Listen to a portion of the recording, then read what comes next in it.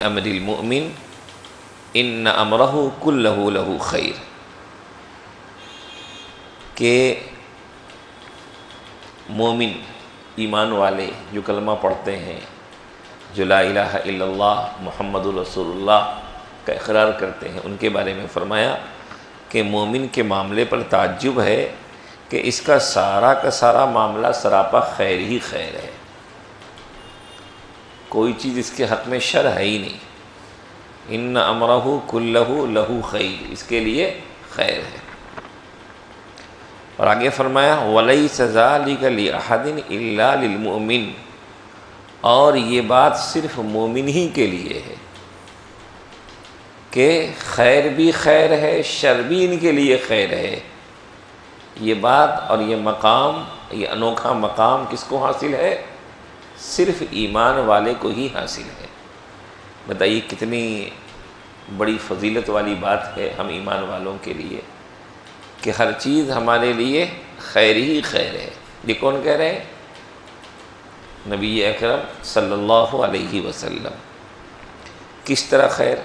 अब आपको इश्काल होगा कि भाई हमारी ज़िंदगी में तो अच्छाई, बुराई, खुशी और गम सारे हालात आते रहते हैं। और नबी अकरम सल्लल्लाहु अलैहि वसल्लम फरमाते हैं कि मोमिन के लिए सारा का सारा मामला, सारे हालात, वो सब के सब खैर ही खैर हैं। फरमाते हैं कि वो इस तरीके पे कि देखिए, इंसानी ज़िंदगी में खुशी का मौका हो या गम के हालात हों, ये तो इंसानी ज़िंदगी का लाजमी हिस्सा है। ऐसा नहीं हो सकता कि इंसान की ज़िंदगी हमेशा एक ही हालत में गुज़रे। उतार चढ़ाव की कैफियत, हालात की तब्दीली होती रहती है। लेकिन इन हालात में हमारे तर्ज अमल से वो हालात हमारे लिए खैर बन जाते हैं। तो इसमें यह नहीं कहा जा रहा है कि आपके साथ हमेशा हालात अच्छे ही रहेंगे। नहीं, हालात तरह तरह के आएँगे। लेकिन जो भी हालात आएँगे, वो आपके हक़ में खैर बन जाएँगे। आपके लिए उन्हें अल्लाह खैर बना के लेके आएगा। कैसे? फरमाया, इन असाबत हुसर्रा शकरा। इन असाबत हुसर्रा शकरा। कि अगर उसे खुशी हासिल होती है तो शुक्र करता है। कोई नेमत हासिल हुई, खुशी देने वाली कोई चीज़ हासिल हुई, कोई मकाम हासिल हुआ, औलाद हुई, कोई मकाम मिल गया, कोई नेमत मिली तो ऐसे मौके पे ये इतराता नहीं है। फ़ख्र मुबाहत में नहीं लगता, बल्कि जो कुछ भी खुशी की चीज़ हासिल होती है तो ये इस खुशी के मौके पे, इस खुशी को या खुशी देने वाली चीज़ को अल्लाह की नेमत समझता है। और अल्लाह की नेमत समझ करके उस पर अल्लाह का शुक्र अदा करता है तो शुक्र की वजह से ये हासिल होने वाली चीज़, खुशी देने वाली चीज़, उसकी अच्छी हालत, ये उसके लिए खैर बन जाती है। क्या पता चला कि अगर कोई नेमत हमें हासिल हो रही है,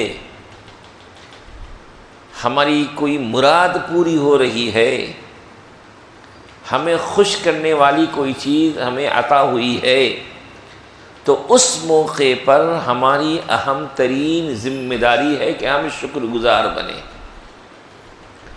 और अगर शुक्रगुजारी की तौफीक मिल रही है तो गोया कि वो चीज़ खैर बन के आ रही है। और उस चीज़ के मिलने के साथ हमें नमत शुक्र हासिल नहीं है, तौफीक शुक्र हासिल नहीं है तो ये चीज़ नुकसानदेह है। ये ईमानी तकाजे के ख़िलाफ़ है। तो हसूल नमत के साथ तौफीक शुक्र भी हो, हसूल नमत के साथ तौफीक शुक्र भी हो तो ये अच्छी चीज़ है। और हम सबको इसका अपने आप को पाबंद बनाना चाहिए कि किसी तरह की खुशी हो। किसी तरह की कोई नेमत हो तो हम अपने आप को शुक्रगुजार बंदा बनाकर रब के दरबार में पेश करें। तो वो खुशी, वो अच्छी हालत हमारे लिए खैर बन जाएगी। जैसे मिसाल के तौर पर, तालीमी कोई डिग्री हासिल हो गई, कोई जॉब हासिल हो गई, कोई हमारा प्लान कामयाब हो गया किसी चीज़ की कोशिश कर रहे थे, वो मंजिल हमें मिल गई। तो जो कुछ भी हो, हमें उस मौके पर शुक्रगुजार बनना चाहिए। और आम तौर पे ऐसा होता है कि इंसान खुशी के मौके पे रब को भूल जाता है। और ने लिखा है कि बहुत गम के मौके पर और ख़ुशी के मौके पे अक्सर व बेशतर हदूद शरीयत पामाल किए जाते हैं। आप हम सब अपनी ज़िंदगी का मुहासबा करें ख़ास तौर पे अपनी खुशी का मौका देखें। बहुत खुशी के मौके पे हदूद शरीयत पामाल किए जाते हैं, गोया कि ये रब को नाराज़ करने वाली बात है। खुशी के मौके पे हमें अपने आप को इस तरह अपने ऊपर कंट्रोल करना है कि उस खुशी के इजहार में शरीयत के हदूद पामाल ना हो। आप शादी करने जा रहे हैं, शादी का मौका, खुशी का मौका है। उस मौके पे भी हदूद शरीयत का ख्याल रहे। आपको अल्लाह ताला ने कोई बड़ी अच्छी खुशी अता की है, उस मौके पे आप पार्टी कर रहे हैं, दोस्तों अहबाब को जमा कर रहे हैं, वहाँ भी आपकी ज़िम्मेदारी है कि हदूद शरीयत पामाल न हो। इसका ख्याल रखना ज़रूरी है। तो अगर हदूद शरीयत का हमने ख्याल रखा और उस नेमत को अपने रब का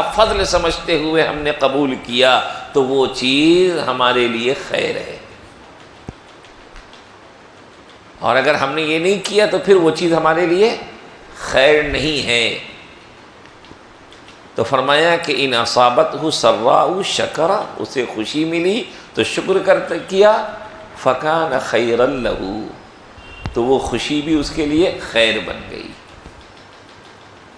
अब देखिए यहाँ पे नबी वसल्लम खुशी, शुक्र या खुशहाली और शुक्र इन दोनों चीज़ों के जुड़ने के बाद कहा, फ़काना खैर लहू। कि ये चीज़ उसके लिए खैर बन गई। गोया कि अगर खुशी हो, लेकिन उसके साथ शुक्र न हो तो फिर फ़काना खैर लहू की बात नहीं है। एक बात, अगली बात फरमाया आपने वह इन असाबत हो जर्रा उसे तकलीफ़ दे, परेशान कन कोई चीज़ पेश आ गई। और ये भी इंसान की ज़िंदगी में आती रहती है।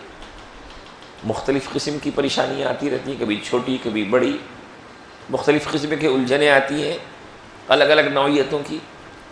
फरमाया तो ऐसे मौके पे वो सब्र करता है। तो सब्र की वजह से भी वो परेशानी, वो टेंशन, वो गम का मौका उसके लिए खैर बन जाता है।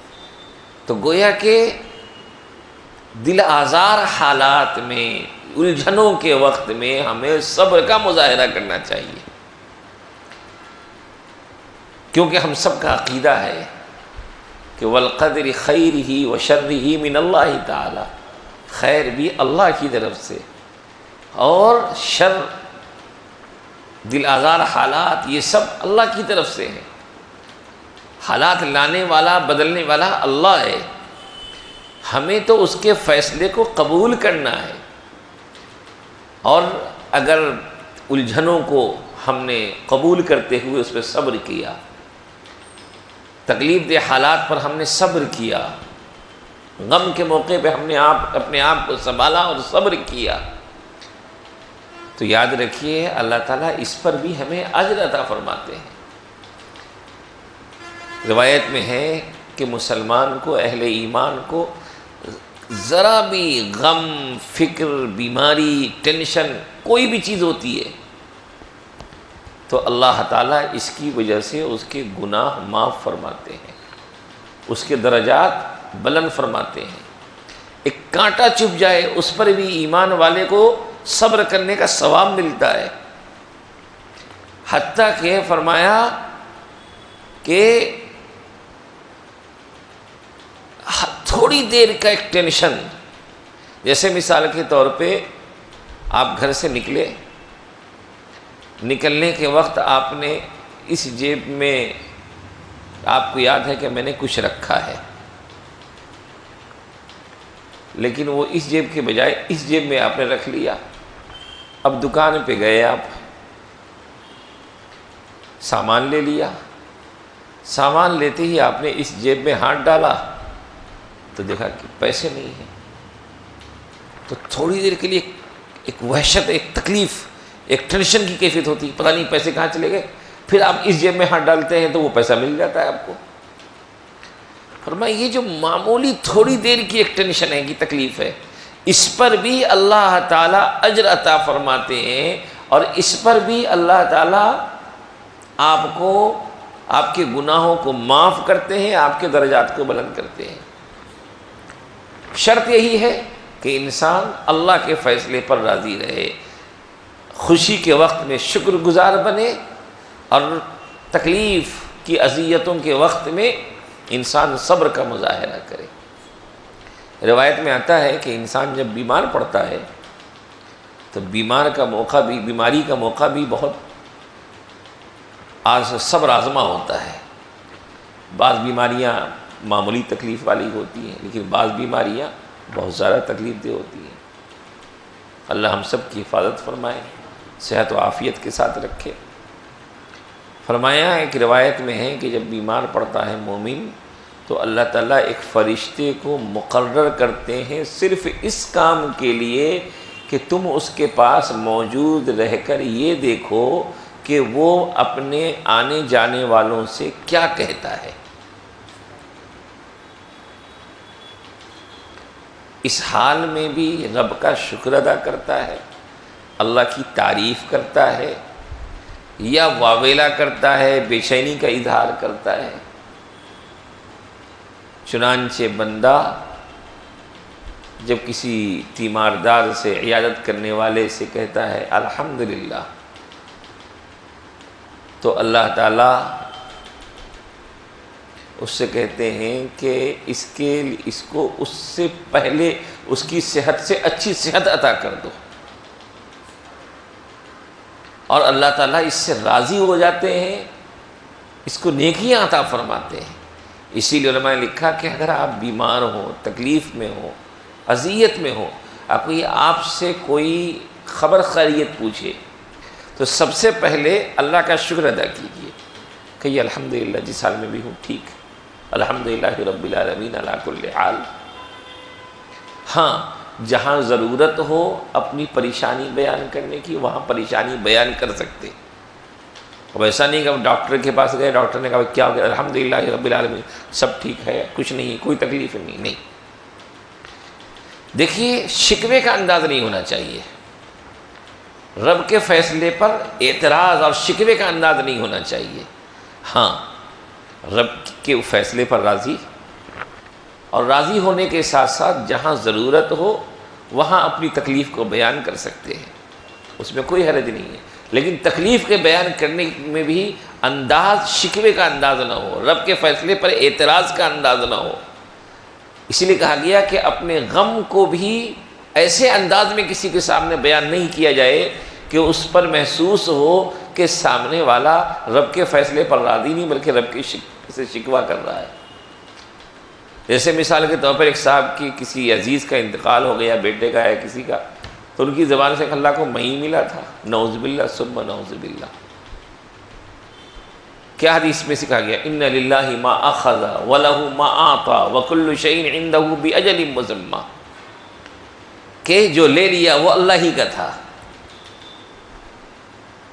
और जो दिया है वो भी उसी का है।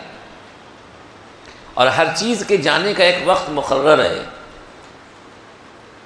किसी कोई कोई अजल से पहले नहीं जाता जाने वाला।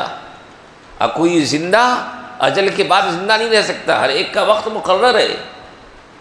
अब अल्लाह की मशीयत के अल्लाह किसको कितने दिन रखे, किसको कब बुला ले तो जो बुला लिया जिसको, वो अल्लाह की अमानत है। अल्लाह ने ले लिया उसको।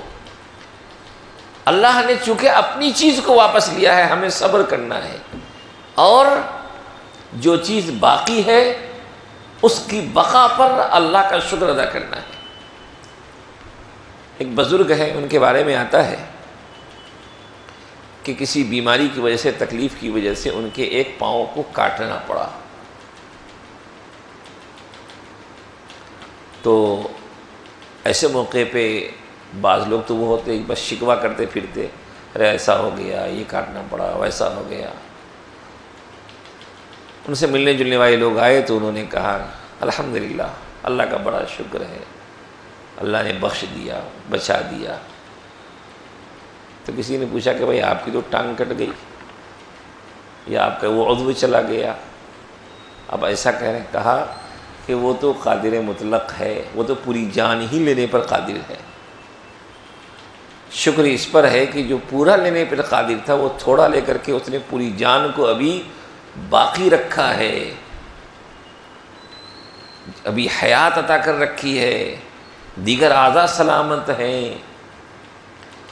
तो इंसान की नज़र जाने वाली चीज़ के बजाय जो चीज़ बाकी है, जो नेमत हासिल है, उस पर अगर नज़र होगी तो इंसान हर हाल में शुक्र अदा करेगा। तो सब्र भी होना चाहिए, शुक्र भी होना चाहिए।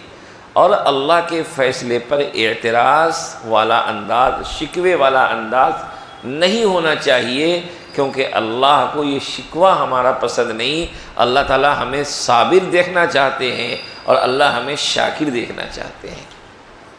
और जब हम सब्र का और शुक्र का मुजाहरा करेंगे उनके मौाक़े पर तो नबी अकम वसल्लम उसी के बारे में फरमा रहे हैं कि मोमिन के मामला, मोमिन का मामला तो बड़ा निराला है ताजुब खेज़ है कि हर चीज़ उसके लिए सरापा खैर है और ये मकाम उसके, ये सिर्फ़ मोमिन को हासिल है कि खुशी के वक्त में शुक्र करके शुक्र करके उसको खैर बना लेता है और गम के मौके पे दिल आज़ार हालात में सब्र करके भी उस तकलीफ़ और सब्र आज़मा हालात को भी अपने लिए खैर बना लेता है।